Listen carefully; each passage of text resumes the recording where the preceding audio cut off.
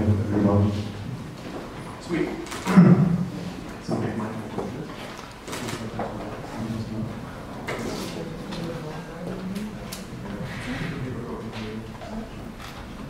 So, I just want to prevent it to hold it for another hour or so, you know, not so. Uh, okay, quickly. Thank you very much. Um, Nevertheless, I'd like to thank, of course, like, um, Anita, Bob, the lovely people from CZECHDESIGN for inviting me. It's, uh, it's a pleasure. Um, maybe I should quickly start uh, by, um, by telling you something about myself. Something that you might not know. So I come from, obviously I come over from Berlin. You know, in Germany we have uh, built fast cars, you know, we like to put things in the right angle, you know, that's just who we are, you know. And uh, we are mostly known these days, you know, about uh, Chancellor, Chancellorate uh, uh, business here. Um, but I'm actually, I'm a trained designer. I'm a trained designer. I studied communication design when it was uh, not any longer, while it was not so cool to call it graphic design back in the days. Once, uh, yeah, but it, it changed all pretty quickly. So, in a nutshell, I worked in corporate design, then I did like 3D illustrations, uh, then I became a motion designer. And um, yeah, I, I worked on print, by the way, for a very long time, while some might have already worked on the web. Uh, and I skipped the web more or less and dived directly in 2003, uh, working for Iconmobile, um, and dived into mobile from the very beginning when there was no iPhone. Of interesting times. So my job, my profession has, uh, during my career, let's say, I have been going through, uh, yeah, various changes, and I also uh, like to thank you guys again for the invitation because I'm actually I'm more like an introvert person. You know, I'd like to close the door behind me. You know, in my house, I love I love my sofa, and once in a while, you know, uh, when getting such an invitation, you know, I have a chance to, you know, somehow contemplate and you know have to drag myself on stage, you know, to in order to show you what I've contemplated. So thank you for that. I've been uh, working for. okay. So I've been working for Iconmobile now for over 12 years, which is a ridiculous amount of years for an agency business. You know, and that's probably the same here in Czechoslovakia. Um, so we've been doing a lot of funny things, as I said, right from the beginning. Sound good now, actually. Thank you. So we've been uh, we've been working on a lot of different mobile things, and I tried to skip over that fairly quickly because I realized it's not meant to be a two-hour talk, but that's roughly what the material I got with me. So I tried to speed up a little and skip a couple of slides. So we worked on uh, like the so-called iPhone killer back in the days in 2007. Uh, actually, it didn't kill the iPhone really, but we knew that while we were building it already. So that was in the States. We've been um, discovering, like for ourselves, that it's actually quite uh, important to uh, use the, the like the, the space in between the static states. You know, when the, you can actually uh, do transitions and animations in order to get some joy into interfaces. That was like something that we have done um, that we have done all along. Uh, so we work our way through the model space, uh, did like everything we can, native, uh, like all websites, native interfaces, um, um, of course like transport applications and stuff, and also did strategic work then at some point. So we slowly worked our way up the, we worked our way up like the food chain. It's a weird microphone. If that continues like that, you know, I'm just gonna shout at you, you know,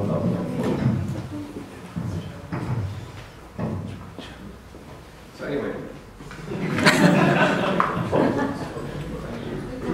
yeah, it's like a, more, more torture for me than for you, usually. so, um, at some point we actually we started to uh, also get our hands on the product design.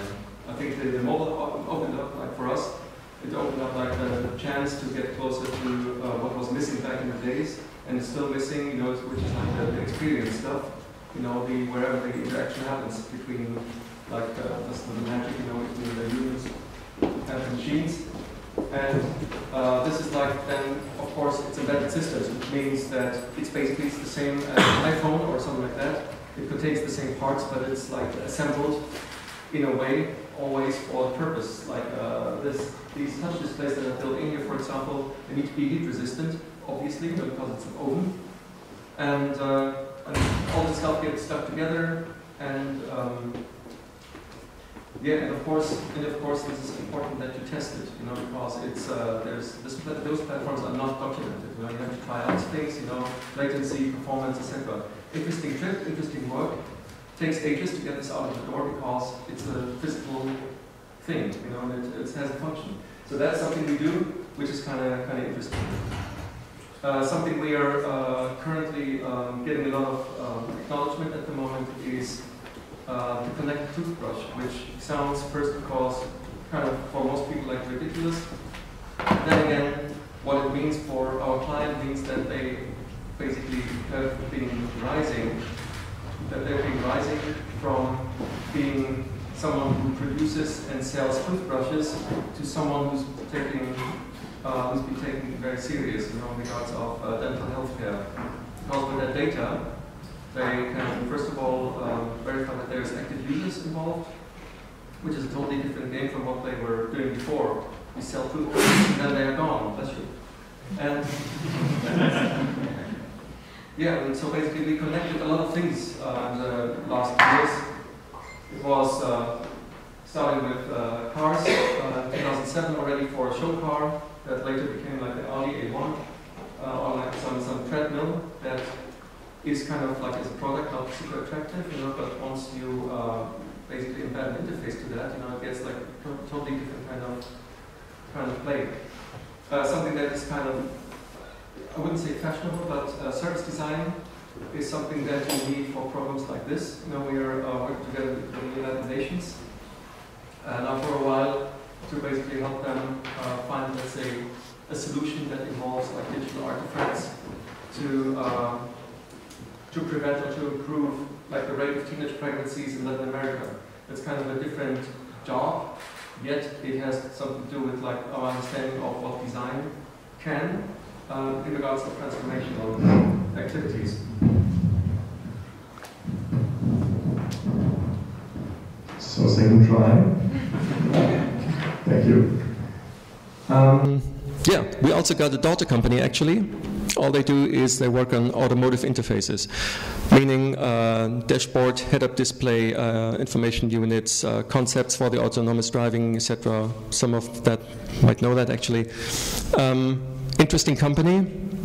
We work very closely with them, and then we have like a startup uh, in our company which is called Banbutsu, and Banbutsu is a platform for the Internet of Things. All it does is basically take whatever there is and it's currently it's uh, not even in beta stage. Um, and I'm afraid I cannot show you any of the interfaces, but it's quite interesting. It's basically made for the end consumer. Uh, so you can actually add regulations and conditions to to wire all these things so they make actually sense for you and it's digestible. So it's also like a huge experience effort behind that uh, just like business-wise, a little bit of different direction. So let me try to quickly talk about the experience economy. Um,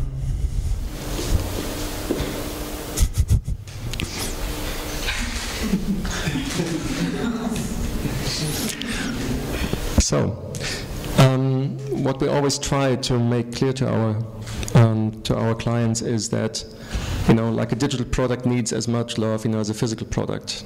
We spend more time in the digital, more and more time in the digital space, so those tools are, you know, need equally uh, being paid attention in terms of, of details. And uh, it seems that everything that is supposed to become, that could potentially become digital, is at some point going to become digital. And I don't exclude the thought, you know, that there could be like, you know, at some time, you know, there's going to be a trend backwards, you know, when we go back to the analog. At the moment, it's like, it's different. The digital transformation is um, affecting like all sorts of industries, some more and some less. I mean, those little uh, examples, I guess you know. I mean, but even like in the digital, uh, during the digital times, you know, it seems that every, for example, we, we thought about getting into the space of smart TVs, you know, and once you looked into the process, you know, how you get an application on a on a TV, it's a very cumbersome process because none of the manufacturers has actually figured that out in a way that, for example, Apple did. So it can be that you like, um, first of all, it's like no standardization, you know, so it's like a huge effort in the end.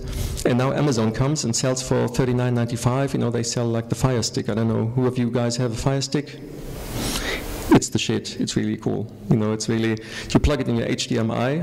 There's a little computer on top. You know, in, inside this tiny USB lookalike stick. You know, and uh, it starts to stream full HD uh, Dolby Sound, and it works. There's a uh, there's a, a, very nice remote control with it, you know. So it's so basically all the effort, you know, that all the manufacturers actually spending in like finding like paradigms, you know, how to operate um, these smart TVs, you know, it's completely, I don't know, it's like 40, you know, from making a dumb TV to a smart TV, like in 40 euros, that's, um, that's kind of revolutionary. The thing is, what I think what we see is though that that people stop buying stuff like mad, so th they don't consume in a way that they uh, used to.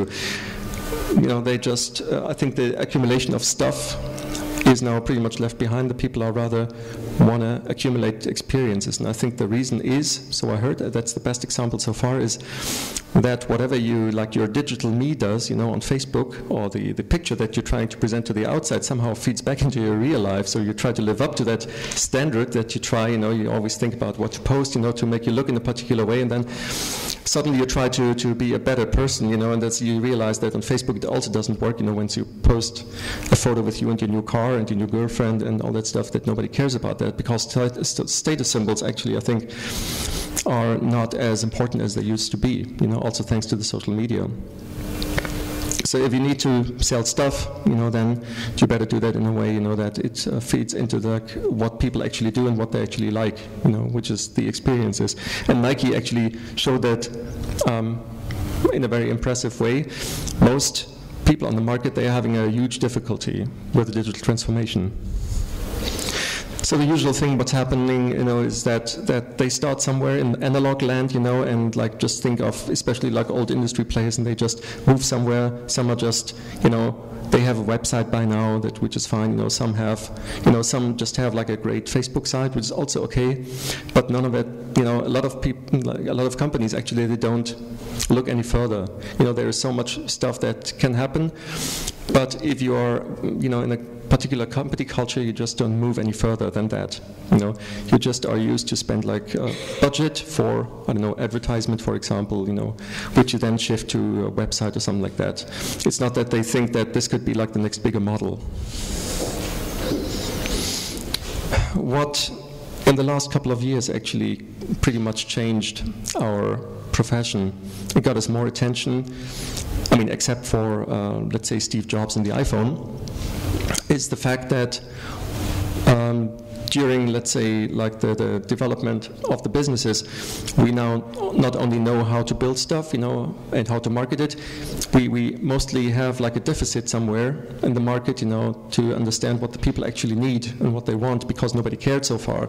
Usually, like an ordinary company has like a customer care hotline, you know, which they call, and that is that is that. You know, that's the channel to the customer. You know, they are not much more interested about anything else. That's from, yeah, it's a month old actually. So even the Harvard Business Review has like design thinking on the cover now, which means that it now, at least, you know, it um, design as a discipline somehow, um, obviously it evolved, uh, where actually even the management, you know, looks into it and try to find it somewhere in their in their company. It's a very good, by the way, a very good issue. I would definitely buy it, you know, if you're interested in that sort of stuff. Um, yeah, I mean, it's in the end, it is a very commercial point of view, of course, but like, where's the value of design exactly lie? I mean, the problem is that at least that's what I'm thinking. You know, as long as you, as a designer, and you're and talk with a business person and you can't actually make sure where your value exactly lies, you always will have a difficult time, you know, actually um, convincing someone, you know, why they should pay you only half of what like a normal decent consultant, for example, would get. And that's quite normal, you know, and this is why I just say, like from one designer to another, that this is something that we need to get better at. I think we, we had like an exercise at some point, you know, where we evaluated a couple of companies according to the organization structure models, you know, the design process model, um, also roles and responsibilities and all that stuff. So where does design in a particular company sits, etc. Um, you know, how does it affect like the operation and what comes out? And of course, like it, it fosters innovation. It um, enhances the customer experience and the time to market. You know, you can increase through design. But in the end, you know, what, what counts for the business people, you know, is in, an, in, in a nutshell, it's like money. And that is usually measured in selling more units, selling more expensive. Um, also like let's say if it's like a you know on a product level if it's more like a subscription business model or something like that it's like the like in the operator space you know it would be like the ARPU the the average revenue per user that's that's like KPIs that they understand. And you can pull the trick, and I've, I've seen it, you know, designers simply taking out the, the annual numbers, you know, from a company, looking at the markets, looking at the shares, just saying, okay, if this is where you're strong, you know, let me, and just do a good guess, you know, do a little equation and a couple of assumptions to, in the end, calculate really with numbers, like the return of invest, which is kind of interesting, but it's really hard to do. So all I'm saying is design, uh, and this is like part of the permanent identity crisis here with all the experienced designers, you know, where do I belong, etc. I think it wasn't different from the developers in the 70s or so, you know. We'll find our way somewhere. Um, but in the end, like what value you provide, you know, is currently like really difficult to calculate, you know, and to justify. But this is definitely something to wrap a head around. Um, so from my very personal perspective, you know, what I witnessed is, you know, I, I, I mean, there were a couple of stages for me before that, you know, but at some point, you're creating a brand, you know, you create a logo, all of that, that becomes commodity at some point.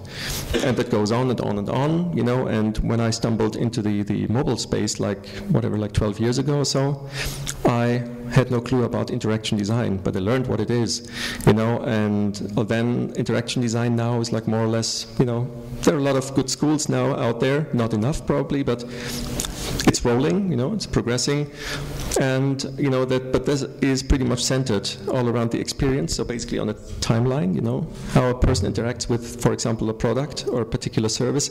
But it's usually it's pretty much limited to one touch point. So then came service design, which does exactly the same, plus like it uh, goes like the whole experience over time through several touch points, including like humans, you know. So I think the DNA of service design is much more on the human-human level, you know. And now we have the Internet of Things, which means like that we also, you know. And I'm not sure whether this means that this all accumulates after time, you know, in our brain. It's probably just like different sorts of specializations in the end, you know. But there is something happening, and it happens fast, you know. So, in order to wrap that up, more or less, it's uh, things are changing, you know, also for us. And the problem is that now, if I look back on my career so far, you know, it was like oh, every few years there was something new. And a lot of things I have in this talk, I found like that this stuff like this like a month old or two months old, you know, because there's there is so much stuff happening, you know, every week. So what's the offering of those kinds of designers? I mean, the, the service guys from Transformator, they are like one of the most well-known in their field. Um, I just you know, they just introduced something like that, which was like touch point design. I think that's the user experience design. You know, this is once you want to make an application, for example. Uh, the service design, I guess, it's like whatever the customer is supposed to see, you know, on a larger scale over different touch points. The system design, the organizational design is like kind of interesting. The system design, I guess, is like whatever is under the hood. And the organizational design is exactly what I've been talking about before. It's like the trouble that they have actually transform, you know. You are, that's, that's something that you realize once you're dealing with a client, you know, they, they don't have, there is a very, very heavy gravity, you know, pulling the user experience stuff, you know, to the ground basically, because it's very engineering driven, or they don't know it, etc. And but you know that it's good for them, and maybe and sometimes you have like one bright person. Ideally, this bright person sits right on top, you know, and then you can move stuff. So it's very important to transform the companies as well, because I mean, in the end, the way I see it, you know, it's like um, we are making our money with that with those clients. And even if we are progressing, if they stand still, you know, over a long run, you know, that doesn't help us really, you know, except we have to look for other clients then. What I hear a lot from clients is actually, you know, I, uh, just let's do it like in a, in a different way, you know, it's like maybe we can do it in a way that nobody actually sees that we are doing it, you know, because it's not the people usually that don't want to progress and that they don't want to, they actually, they want to grow, you know, they want to do something great. But it seems that the structure, uh, the processes, the company culture, usually it, it, doesn't, it's not compatible. And nowadays, I would say that I even have more clients nowadays approaching us in, in that way, you know, and then we have those who are saying like, you know, they are all completely crazy, you know, for doing some uh, interesting work. It's really like the opposite, you know, they're all struggling with their structures. So what I learned over the last couple of weeks, what seems to work pretty well for most of the service designers is really to infiltrate the companies more or less. So um, they are becoming change agents. They are like the designers go there, they do workshops, they train the trainers in order to then uh, create like a ripple effect that goes through the whole company.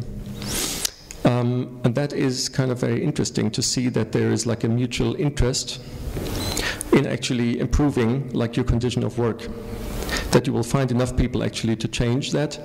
And usually, I mean, for there's change managers and there's cha change agents, prof professional ones, but it, those change uh, processes they take a long, long, long time. They go over years. You know, you need concepts, you need to sit down with the people, etc.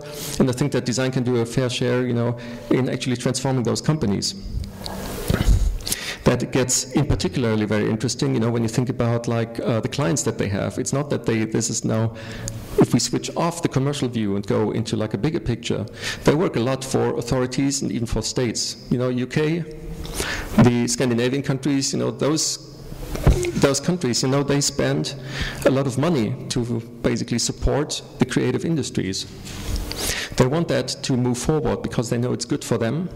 And what it, results, you know, is that basically citizens, for example, or the people, the society, actually has a totally different view on the services that their state provides. You know, how to pay better taxes, how to find a job. All these institutions getting reworked because they suck.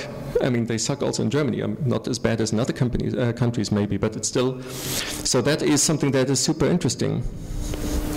And as you know, like you know, us as designers, it's all about prototyping. And I just, like, I have an educational classic here. You know, it's like uh, from 66. Um, Walt Disney actually already had the idea of like a very small island of society, you know, that was meant as a prototyping community.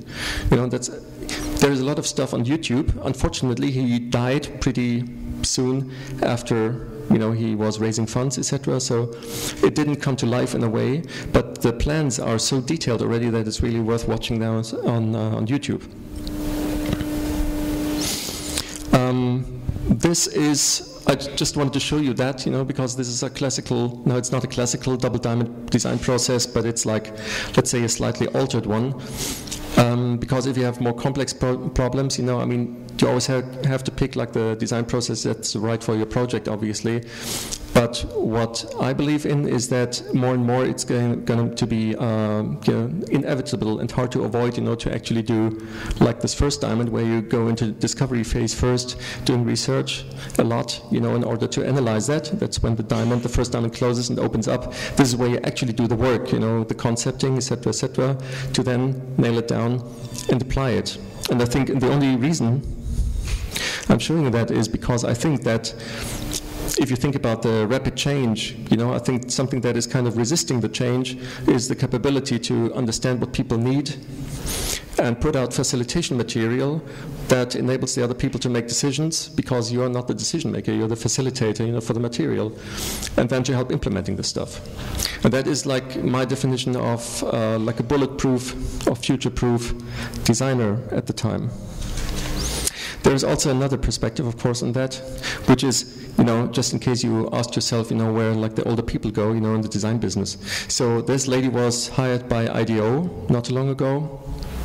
She has some fancy name, but my speaker notes are uh, blank. So, um, so anyway, she did a lot of stuff, you know, in the healthcare field, you know, and she, she offered her services with a handwritten letter, you know, to IDEO. They said like, yeah, well, we do a lot of work actually for elderly people. Why don't you be like our permanent, you know, for, so she sits on the sofa, you know, um, whatever, in like two offices during the week, in, in like changing, you know, interchanging, and, uh, you know, and gives like very good feedback, obviously, and input, you know, to the projects. Another uh, kind of design field which I uh, found extremely fascinating is like the so-called design fiction. There are some guys from the Near Future Laboratory. I mean, that's uh, just the name alone is pretty cool. And they did in uh, San Francisco a workshop in February, uh, which was about the future. So I think the exercise was something like the quick start manual for your first autonomous car or something like that.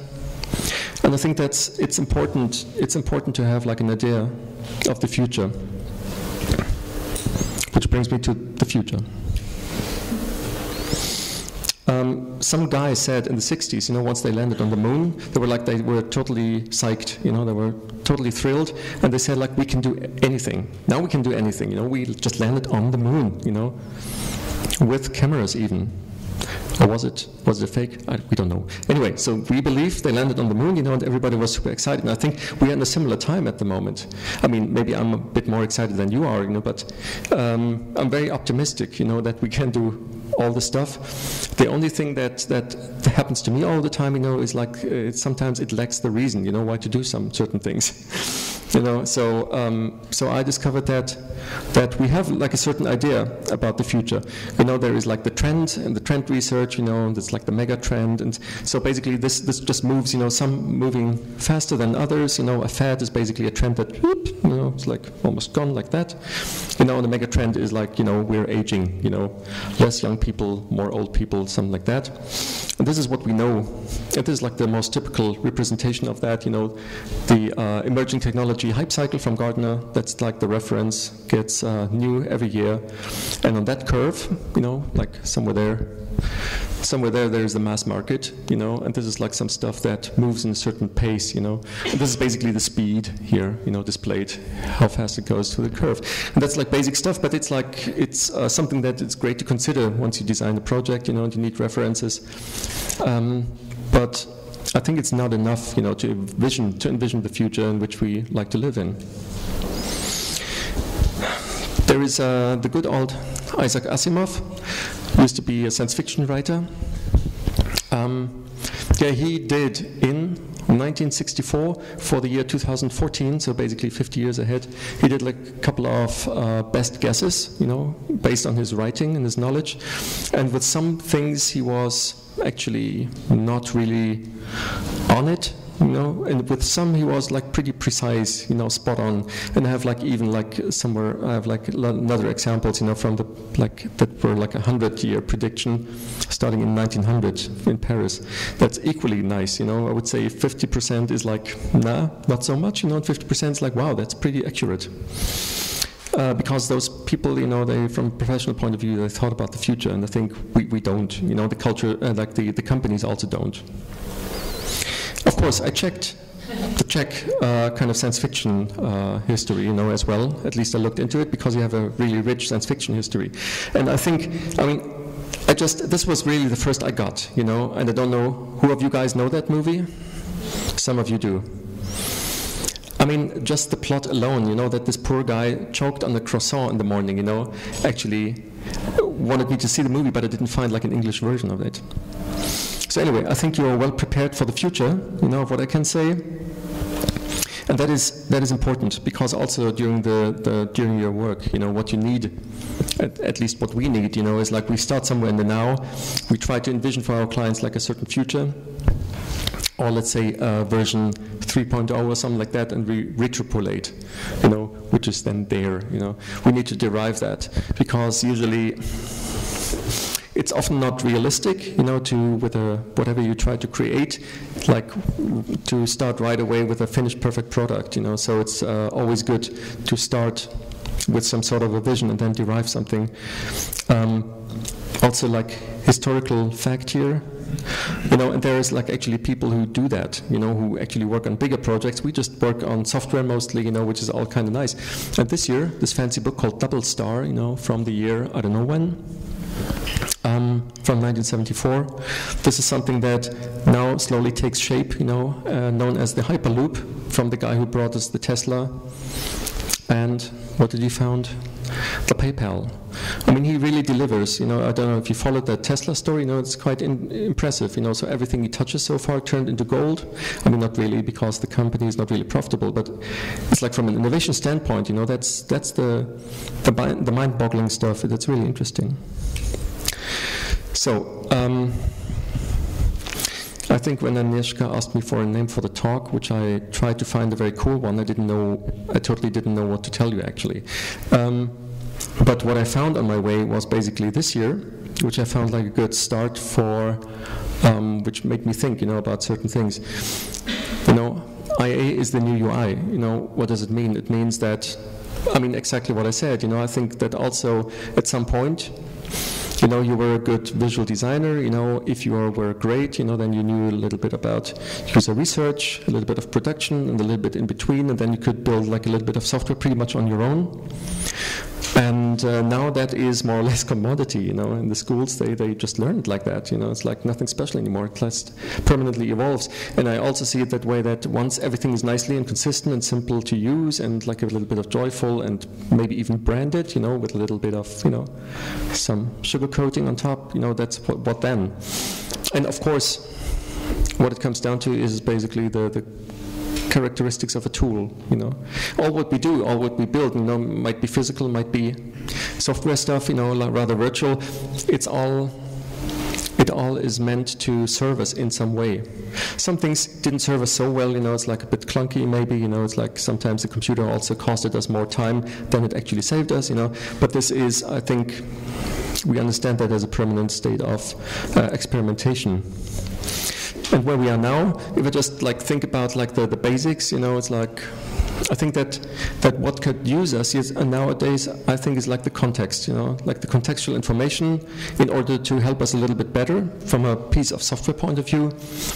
And then we have like this hyper local advertisement that was like something that went around I think last year. So this is always when this, you know, this button comes, you know, are you willing to share your location? Yes. And then maybe or maybe not, you know, it somehow helps you. What happens pretty often, I think, is the same as with the with the freaking Google ads. You know, once you watch something somewhere, you know, it's like it follows you the rest of the day on every website. You know, but it's actually, but but frankly, that's the big thing that now, given back my uh, my history, you know, this is what I hated about advertisement. You know, it's basically it's penetration. It's just like you have channels and you use them to rub a message in your face and you know, and it doesn't apply like a logic necessarily. And the same is now with the Google ads. You know, it might be that there is a relation, but maybe not. You know, doesn't really matter. But this is like, but all the data mining must must be good for something. Partially they do a good job. You know, they know where my home is, they know where my work is in Google Maps. You know, that works pretty well. So I think it's all about contextualization. And um, but we are not there quite yet. You know, so. So when we now think about like the artificial intelligence, you know, I think it's it's certainly artificial. It's not yet intelligent. Let's just quickly look in here. Science fiction of today, you know, this is all stuff that exists now. You know, it's like the smart object, like the artificial entities, you know, or like some sort of a smart system. I'm pretty sure that, you know, I don't know, flying cars would probably go into smart objects. We don't have them yet, you know, but I'm sure they work on that. So in terms of objects, you know, the day the doorbell rings you, I, I love that. You know, it's like the Internet of Things, for example. We know that there is a lot of stuff going to happen for sure. It's, um, you know, I, I, guess that probably most of it will be crap at some point because, as they say, you know, whatever can be connected will be connected because that's just how industry operates. But at the moment, it's not. There is no infrastructure. It doesn't. It doesn't really work. In a way, I think the best example so far I saw was to demonstrate like the Internet of Things was that to go from like a virtual one-click to actually, you know, provide within the context, you know, a one-click interaction. That was pretty brilliant, and I have to say that Amazon pretty much amazes me every year a little bit more. I think they are already too strong, you know, the same as with Apple. You know, I think it's all too uh, monocultural on the market, but I have to admit they do an excellent job here. I mean, those things, they matter because the more complex your life gets, you know, the more important actually convenience gets for you. You know, but the hassle actually to install that stuff, you know, it's all like, I don't know, it's a little bit of a pain. So my colleagues, you know, they, they tinker around a lot, you know, because they know they need a lot of showcases, you know, for their uh, IoT platform. So this is like a pill dispenser, you know, it simply counts you know how many pills you have dispensed you know and at some point when you're getting like to a certain low you know this actually would order like new pills for you directly automatically and then that would be displayed in your bathroom mirror for example. You know that thing is gesture controlled. Um, it's not new. We did it last year but we built a couple of those and evolved that as a product as a physical product because we do a lot of tinkering as well. So we have like you know, workbenches and 3D printers and shit, you know, what God knows what. And that now uh, is more and more interesting because the no matter what kind of industry players come into our premises, they are all heavily impressed just by the sheer, uh, you know, by the sheer scope, you know, of what we can create in-house. Then again, I think the, we are really having a hard time for the Internet of Things to come up with, let's say, um, very convincing use cases. In my personal opinion, I think the people we have to empower them, you know, to do it themselves. You know, something very simple to find out. You know, is it important at this point? You know, in, in the space in my room, in the kitchen. You know, that that it's moist. You know, is that something I want to know, for example? And there are a couple of kits, uh, like of toolkits out there. You know, that the one is Sam here. Sam is from the RCA, from uh, the Royal College of Art in London, together with the Imperial College of engineering technology i don't know really but you know they sell that stuff. For example same with same as with ibm you know and I, I totally see that or i don't i wouldn't be surprised you know if basically the people just would buy a kit. The community would actually add a little bit of uh, information and context and then the people just assemble that themselves you know in because they do it for the IKEA as well. So you might you might enjoy that here I mean, how many people knew that the term robot was coined right here? I mean, not right here, but in the city.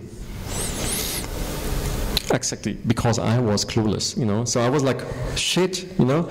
I even found this fancy photo here of the uh, premiere from 1921.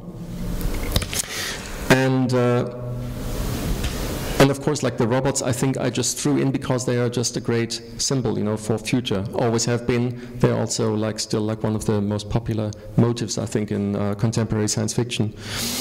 What goes along currently with the robot is that term here, the uncanny valley. The uncanny valley is um, basically just saying that if it's somehow, if it looks like a tool, you know, this robot looks like a tool, you know, then it doesn't mean no harm, it's kind of okay. If it looks even closer to a human, but something is off, you know, then it's like really scary. You know, so I think that the robots themselves, but this is like a purely aesthetical theory that was like from the from when from the 70s, from a Japanese guy, and I think what he couldn't foresee is actually that through that we are pretty okay with that stuff, you know, because now we have video games. So from an aesthetical point of view, you know, we already saw a lot of we are used to the evolution, you know, of like a, something aesthetical, you know, but that doesn't give us the creeps, you know. It like once it manifests like um, physically it's, it's still slightly different but the thing is that there is like two things. The one is the outer shell and the other is the intelligence part you know. And i think the intelligence part to me is like a little bit more scary. Yeah i mean this is basically how this curve actually looks like so quickly robots um, just we can cross that off the list so this is like a very sexy small robot why? Because it weighs 18 grams and it carries a camera. I thought that is kind of pretty cool. That thing has been in development like for years, and it gets lighter and it gets better. It gets longer enduring. Um, something relatively new is that drone that actually absorbs shocks, so you can throw that in every building, you know, that's about to collapse. You know, it just flies, you know, which is very. Uh, it's a Swiss startup, I think, who did that. Of course, in terms of humanoids, you know, there is Asimo. I'm pretty sure that this name is no coincidence. Um, yeah, and he, of course, he does like a lot of nice things. He serves uh, drinks, etc. You know, go on YouTube, watch a couple of videos. It's really entertaining. It's really impressive, but it's not scary, really. Talking of scary, of course, there is that thing. It's called Atlas. Um, the Atlas is created by Boston Dynamics. Unfortunately, it's funded by the DARPA, who is like uh, basically the U.S. military. So it looks already like that. You know, still doesn't really scare me. I mean, uh, there's like uh, there has been a video uh, put out like I don't know, like two weeks ago, three or four, where they actually have him run in the woods. That's a little bit scarier. I mean, he's still like completely wired, you know. It doesn't autonomic like a, as an autonomous organism just run through the woods. It just has like a bunch of cables hanging behind him, which is like kind of funny. Um, but it looks pretty massive, you know. It can hold the balance, you know. So if you throw a ball at him, you know, it doesn't collapse. You know, it's like it's interesting. How I ended actually up with the robot thing at all, you know, is basically because we work for a, a kitchen uh, for a um, household appliances manufacturer is of course these things here. Anybody knows Jibo? You've seen that thing? Has been like there for like a year out there, I think, or now a year ago, so it was probably still a like a um, what's called like a, a Kickstarter project. I mean, just take a quick look at it. Tell me what you think.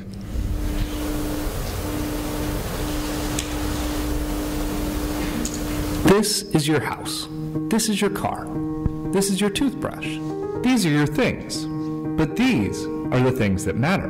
And somewhere in between is this guy. Introducing Jibo, the world's first family robot. Say hi, Jibo. Hi, Jibo. Jibo helps everyone out throughout their day. He's the world's best cameraman. By intelligently tracking the action around him, he can independently take video and photos so that you can put down your camera and be a part of the scene. Jibo, take the picture. He's a hands-free helper. You can talk to him, and he'll talk to you back, so you don't have to skip a beat. Excuse me, Anne? Yes, Jibo. Melissa just sent a reminder that she's picking you up in half an hour to go grocery shopping. Thanks, Jibo. He's an entertainer and educator. Through interactive applications, Jibo can teach. Let me in, or else I'll. And I'll. And I'll blow your house in. Hey, where'd you go? There you are. He's the closest thing to a real-life teleportation device. He can turn and look at whoever you want with a simple tap of your finger. Check out my turkey dinner, Mom. I wish you wouldn't eat that. Hey, they make turkey pizza? I want turkey pizza. And he's a platform, so his skills keep expanding. He'll be able to connect to your home. Welcome home, Eric. Hey, buddy. Can you order some takeout for me? Sure thing. Chinese, as usual? You know me so well. And even be a great wingman. You have a voice message from Ashley. Want to hear it? Absolutely. Hey, call me when you're home. Better make that takeoff for two, Jibo. We've dreamt of it for years, and now he's finally here. And he's not just an aluminum shell, nor is he just a three-axis motor system. He's not even just a connected device. He's one of the family.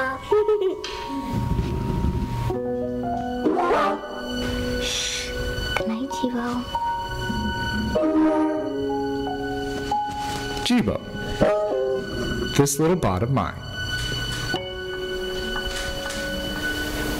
What if technology actually treated you like a human being? Okay, so that was the uh, lady from the MIT who actually started that thing. So I mean, it's it's still I think it still uh, works wonders on me. You know, I already start to hate my future. You know, but um, but there is something interesting about it, you know, which is it's not the cheesy American way. You know, this thing is basically pe- put into scene. You know, I see a lot of potential behind that, but it's not the the outer shell, you know, of a robot. You know, that actually scares me. It's more like the, you know, the uh, accumulated knowledge, you know, in the system. I think for those of you who don't know that one here, I spare you like the. I mean, it's equally great uh, commercial actually behind it, but the Amazon Echo. Uh, the Amazon Echo is, uh, I think, even scarier, you know, because it doesn't interact with you. When you saw like this nice, uh, there is actually like a, also like design-wise, the complete history, you know, of like the Jibo's of Jibo's eyes, you know, how that thing works, you know, and how it interacts and how it, uh, you know, contextually, you know, is being moved. Here, that thing has not much but it listens to you wherever you are in the house, you know, or like in the room, you know, and that is like, and that, you know, I think the the the abstraction, you know, of whatever happens there, you know, that the fact that you don't really know, and the fact that this thing, you know, is, uh, you know, actually very clever, you know, that is something that I found that I found rather scary. So let's maybe just hop on to you know those smart systems you know um, pretty sure you've seen like at some point in your life like 2001 it's uh, this is HAL you know the uh, very automated like i think one of the the nicest uh, intelligent systems there is like with a conscience and it's I only mention that because it has been in the press a lot over the last coming weeks. You know that, like a lot of people actually who are kind of smart, actually warned about the uh, artificial intelligence. The thing is, I think so far I can only say, you know, I did a little bit of research, you know, and there are different voices, you know, but it seems it's clear to say that there is something that is the, the point which is scary. We are still like a little bit far away from that, which is once they become self-improving. You know, that's being a critical point in artificial intelligence, because then what I learned, what's happening, you know, is an intelligence explosion, and the, the intelligence explosion, you know, it happens, you know, then they are just pretty much, you know, just getting smarter very, very fast, which is could be I would say like a solution to a lot of problems, you know, that we as humans cannot face. And the, the actual concern of those people is, you know, that we don't know how to keep that under control. And that's, that's basically the end of the story about artificial intelligence because um, the closest we are in the consumer world at the moment, you know, is uh, with the smart assistants, such as Siri in your iPhone, or in that case, something that is currently in beta state, you know, that's Facebook M although it doesn't look like an M, but it's an M. it's supposed to, supposed, to be one. And what I think Facebook then uh, differentiates like from others is that this thing here actually also executes orders in your on your behalf. So you can order stuff, for example, and it's all equally semi. It's not intelligent. It's not intelligent. It's smart. Know? So it's contextual. So there's contextual data. Yet you know it's uh, just if you think about about your best friend who knows you really well. You know, if he would be just be at your side all the day, he still wouldn't have a chance, you know, to actually know to help you contextually all the time, you know, because there are simply things, you know, that you can't get out of a human, you know. So it's, um, I think our brain is like works you know, very in a very complex way. Uh, also pretty relatively new, Cortana, you know, it's also an assistant now with Microsoft, just got launched. Kind of interesting. Also interesting that this that this funny ring here, you know, has also like a completely behavior on its own, you know, which is um, which you can easily compare with the Jibo with the Jibo one. So what does this thing do? I mean, what, the only case that I actually liked was when you talk into it, you know, and say like, remind me if I. Um, if I'm in contact with my sister to tell her, you know, how lovely her puppy is or something like that. And no matter what kind of channel you're choosing, it will remind you. You know, this is kind of interesting, but it's also not super smart. You know, it's like another use case, but it's also not super clever. Um, what is then, you know, also basically in the same league, you know, as the Google Now slash Google Now on tap. So the Google Now is like to the left, you know, there was like an earlier version, and the Google Now on tap means that you do a long press on the middle button there, and if you just, if you just, let's say, talked about um, whatever, like a particular film or something like that, you know, it will contextually propose you stuff, and then you can with like one tab, you know, do like book a table for something, buy a ticket or something like that. So that's the next best thing. What I found like a little bit, obviously, um, yeah, let's say, uh, like uh, it's worth a concern, is of course that Google also bought like a couple of other things, you know, that are already in your home, you know, and like a camera in your home, you know, and like the thermostat, you know, the the um, like the um, the Nest one in your home, and you don't know where these data. I mean, they are going to the cloud somewhere, you know, and from the cloud, you know, know where they're actually going, because it's uh, yeah, because uh, you know, so in the end I think this is something to, to watch out for, you know, because we seem to have very few players, you know, in that market that are kind of interesting for us, and they accumulate all our personal data. You know. um, mean, that's like one of the of the funnier moments. Then, um, you know, 32 million users, 9.7 gigabytes. You know, that's a lot of stuff. You know, that has been like basically breached, and that I'm pretty sure if you let's say 32 million users, I don't know, maybe 1 million tech savvy wives. I think that leads at least to whatever 5,000 divorces or something like that. I'm not sure, but anyway, so this stuff that has an impact, you know, and I think that data is not necessarily safe, and we all know that, you know, no matter where we look. So I guess that the, the, the good news is like on the on the left hand, you know, it's like data breach. It's like that's the bad news, you know. It's like that can happen all the time because it happens all the time, you know. But then again, you know, we won't have like any killer androids, you know, getting rid of us in the next couple of years, I think. Something to consider, of course, that's also like another thing is uh, the question, you know, um, these little smart things, you know, and I think, um, you know, taking a little bit of time, you know, to think about that and contemplate, you know, if I have more and more help, you know, like, and like the, the latest thing I can think about, you know, which I know for sure is like navigation systems, you know, I used to fiddle around with a map back, you know, a couple of years back, and now I don't anymore. And of course, I realized that I don't know shit about like a particular part of town, even if I have driven through that, you know, a gazillion times because I don't pay attention, you know, because I don't understand it, because the machine does it for me. Then again, you know, it's like those cumbersome tasks, you know, that I don't necessarily want to deal with, anyways. But the question is really, or the, like one of the generic questions, you know, is uh, that is always worth discussing is if we are getting actually more and more stupid, you know, which is a theory that also goes in line with, um, let's say, the ongoing personalization. That's another theory I heard, you know, that the more uh, the more you're actually living your life, you know, even more and more personalized, the more you know about whatever else is happening in the world, you know. But I'm not sure if this is actually true.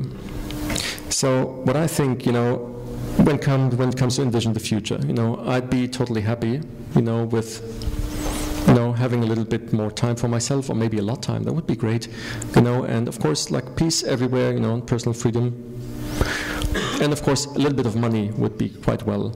And the concept there, um, I think, is that everybody should have like a personal robot that actually earns the money for us. You know, because that's a pretty likely scenario. because there's only this. I mean, that's two extremes, right? It's either the the, the Cyberdyne system kind of uh, dystopia, you know, machines are getting smarter, then they're going to kill us, you know, then they're going to have whatever robot party here on Earth. And the other is actually, you know, that, you know, we actually put more and more power to the machines so that actually the machines doing all the labor for us. The negative version would be also, you know, I'm losing my job, which is also not impossible, you know, you're being replaced by a machine, happened in the past. So, so but I have like a tendency towards the more utopian version, you know. So having a robot, you know, everybody should have a robot. They do work. We at the swimming pool, you know. And of course, I think that you are guys, you know, are the experts in that because, you know, I've had like nearly 100 years of experience now after inventing the robot. I think that was it for now. Thank you.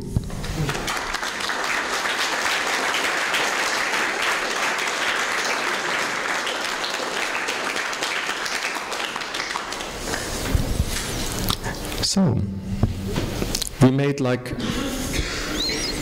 hold on, it doesn't say, 68 slides in one hour. I think that's a good average pace. So, do you guys have any weird questions, or you want to go straight for drinks? Let me know. I have a microphone here, but I heard the Czech are rather shy usually. So, oh, look at you. Oh, um, I just realized I have not like the usual microphone, you know, which I can just throw over. So, I'm just curious if you if you would share the slides because there was a lot of interesting information there to like look after. yeah, uh, yeah, I intend to upload it.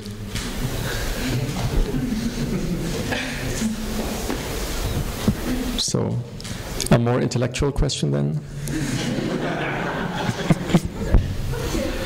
Please.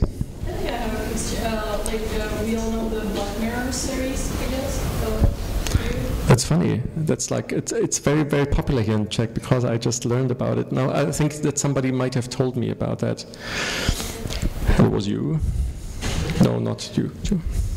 Yeah, I've been I've been I've been told, but I haven't seen it. It's like whatever it's like like four. well, my question was how to discuss the topics, because uh, the Black Mirror is dealing with the topic like the intelligent uh, media and what is it doing to our social life and so on. I think the time is definitely the right one to think about it because it's really that you know it, it's it's it feels like like something that uh, as designer, as a from, from, a, from a professional point of view, we need to do. But then again, I think from a society point of view, you know, we also should do that pretty quickly. Except you don't just don't care, you know, and you just, you know, then then it's fine, you know. But I think that this is uh, equally important because at the moment I think we have a lot of chances, you know, to change little things. It might. It, I'm, I'm totally, you know, we, we produce stuff, we get stuff out of the door, we earn money with that. You know, that's we we are in a business, we are a service company. Um, Um, yet, you know, and even if it sounds cheesy, you know, I think I, I see it pretty obviously, you know, that there is a good time to change stuff, you know, starting with the social media, but going on to like the tools, and also from our side, from a design point of view, you know, we can influence stuff because there are only few of us. Go to any bigger design conference, you know, like I don't know the key conferences, you know, there's like a thousand people there or so going to a service design conference. You know, I've been to one like a week ago. It was like maybe it's like 600 people, 500 people. So it's like a, a very small circle of people at the moment. You know, are really interested to to get into that. Is there any kind of attempt to put a warning on your products or something like it can cause social? That's no, that, we wouldn't do that. You know, if if that would, I mean. Kind of funny, but uh, yeah, you're right. I mean, that's but this needs to go on the mobile phone, on every mobile phone first. You know, there is not so much space on the mobile phones to put any stickers on. But I would be the first one, like when it comes to social um, awkwardness. You know. No, I think we, we have to. That's I think the mobile phone is a good example. You know, there is like sort of a let's say a, a certain code, you know, of um, like a social code, you know, how to behave with a mobile phone, you know, you know, somebody's talking to you, you look in the mobile phone, someone is giving a talk, you look in the mobile phone, or you're sitting with your mom, you know, at the table, and the phone's ringing. All that stuff, you know, is something that we just don't know yet. You know, it's going to take a while until we actually have like a certain how we develop like a certain behavior, you know, and a certain code. But we can actually make it up ourselves as well, you know, a good reason because there is none yet, you know, that is, it's not set in stone. And I think for every technology that's going to come its way, I I've been to, um, like with a friend at a gynecologist, you know, one day, and it just simply said, had a sign, you know, on top saying like, you know, no Google glasses beyond this point, you know, which is funny, you know, because of course nobody has a Google glass in like outside of California, as far as I know, like mostly. I mean, we have one in the company, but people that aren't wearing that, you know. But this is the stuff, you know. We need to get used to those kind of, you know, to whatever it is. It's like basic things, you know. It's privacy. Um, mostly, it's like personal things, you know. It's like how to not annoy, you know, the other people mostly. And also, but also when it comes to data, you know, it's like what's my personal data worth, you know. Currently, like the, the most of the people, I think they don't even understand the, the concept, you know, of Google, that Google actually makes money through that exchange, you know, that you do, getting a free service or that you provide data. You know, that's basic, that's a business model. Also Facebook, you know, they didn't have a business like a business model. They don't, they didn't have like a revenue, you know, for a long time. You know, they got better and better in like social, in being a social network. But how to monetize that, you know, is a big question. And I think that's great. You know, if you have an investor, just say like, oh, don't worry, you know, we find a way once we have like a lot of users, you know, and if the service is good, and I'm pretty sure that's that's true. But again, like you know, it just takes a while, you know, until we getting used to that. And now is the time to, to shape that stuff, I believe, still. Any more questions? Please. Um, the, the, slide where the artificial intelligence goes up and the human intelligence goes mm -hmm. um, how serious you are about this because I, I feel I, I disagree with that because using the real man doesn't mean you're getting lazy by not using the real man because you have more time to somebody if you're an unknown city right, and use the real man it takes ages I use Apple Map or Google Map I can learn million things at the same time as well yeah, that's that's the question, right? Because you know you are totally right. I think I agree to you with a certain degree, except for uh, except for that whatever you haven't actually somehow experienced. Let's say I think there's, I mean, there's two things. The one is like in Korea, this digital dementia, as they call it, it has an effect. It's measurable. Secondly, like in London, you know, the cab drivers, that's like probably the most prominent example, you know, um, that you know that proves that our brains actually that you can train it. You know, like the London cab drivers, you know, these old nice guys, you know, they need to know every street in the city because that's just part of the test you know. You have to pass the test else you're getting no taxi license you know. And you see that actually there's something happening with their brain like in the physical appearance you know. It's really like training the muscles basically. So there is so what i think is happening when i use a navigation system is that i just have no idea about a particular area of the town for example. It's just gone. You might say this is and I, I, agree, you know, it might be totally non-relevant, you know. Why should I care? I have the opportunity. If I want to know more about it, I can still switch to an analog map. All I'm saying is like that there is like obviously something we are losing also some things, you know. We don't only gain by digital stuff, you know, uh, but we don't do that consciously because usually we are just doing whatever everybody else is doing, you know. We just follow. Maybe that's right. It's, it's new age, so maybe you don't need physical maps anymore. You're not going to learn anatomy in your city just because you train your brain. I mean, for the printing industry, like maps were always like uh, one of the, the highest achievements, you know, in printing quality, because you print like up to 27, 28 different colors, like spot colors on top of each other. So that is uh, like needs precision. So I hope that the maps won't die out too soon, but.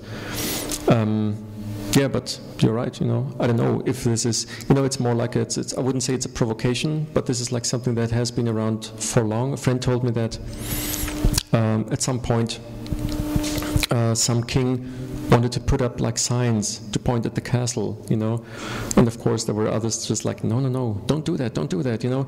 The people are getting, they don't have any clue, you know, about the landscape anymore, you know, because before that, they, of course, they followed paths, you know, and had like different systems, you know.